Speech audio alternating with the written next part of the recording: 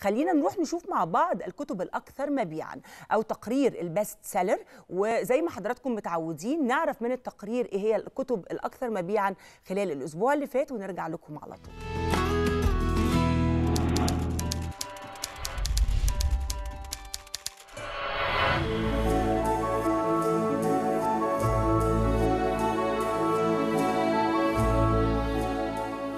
يحكى أن يقدم لكم الكتب الأكثر مبيعا في حلقة جديدة من كل أسبوع.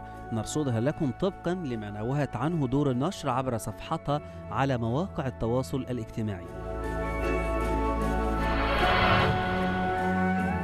كتب هذا الأسبوع تنوعت ما بين الروايات وكتب التنمية البشرية والتاريخ. بيتصدر قائمة هذا الأسبوع كتاب استمارة ستة للكاتب خالد حبيب واللي بيمزج في قلمه فيه ما بين الحكمة والسخرية في استعراض التجارب والخبرات في عالم الإدارة والأعمال.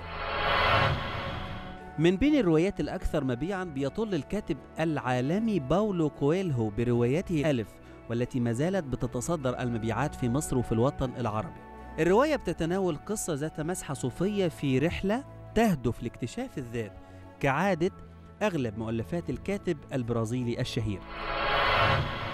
مع صدور الطبعة الرابعة لها تصدرت رواية حكايات يوسف تدرس للكاتب الكبير عادل عصمت قائمة الأعلى مبيعا في المكتبات. كانت الرواية قد نالت جائزة نجيب محفوظ الأدبية من قسم النشر بالجامعة الأمريكية بالقاهرة. فور صدورها